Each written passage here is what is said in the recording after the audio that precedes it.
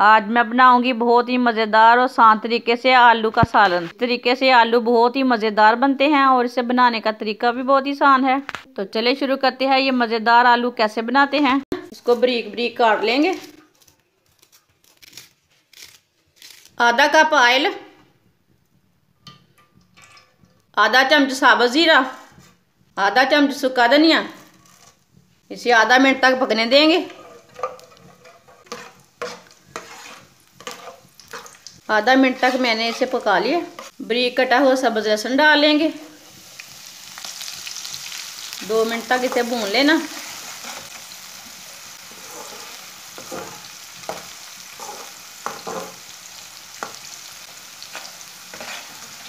दो मिनट तक मैंने इसे भून लिया। है चूल्हे की आँच को ना बिल्कुल हल्की कर देंगे। एक चम्मच भर के नमक डाल लेना।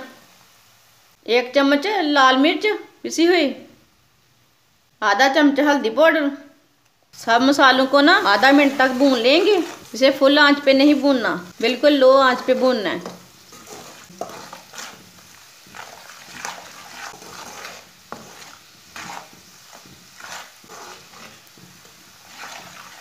आधा मिनट तक मैंने इसे भून लिया।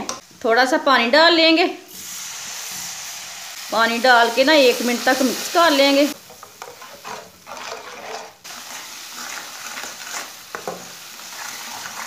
एक मिनट तक मैंने इसे भून लिया।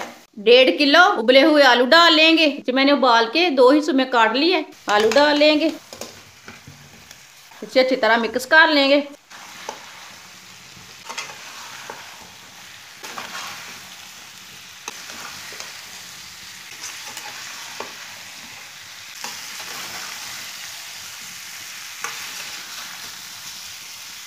इसे मैंने अच्छी तरह मिक्स कर लिया है। आप देख सकते हैं, मसाला, आलू हमारे कितने ही अच्छे बने हैं। इसका भी बहुत अच्छा टेस्ट है। कभी कभी कुछ समझ नहीं आता ना पकाने के लिए। घर में ये हो तो भी ये पका लिया करो।